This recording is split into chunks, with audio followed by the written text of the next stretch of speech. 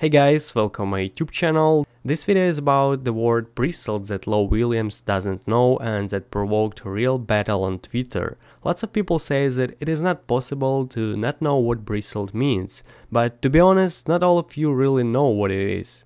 Even if you go to google.com and type bristled meaning, you won't get the right answer. I scrolled down lots of tweets until I found the real good explanation of bristled. Here it is. If you didn't get it, then I'll explain it to you. Bristled means to be angry and annoyed, to show up those feelings, I guess. And still I'm not sure whether I'm entirely right or not. So experts are welcome to the comment section. I'd really appreciate if you explain this word a little bit more. Thanks a lot for watching, for beating up my English pronunciation in the comment section, and goodbye.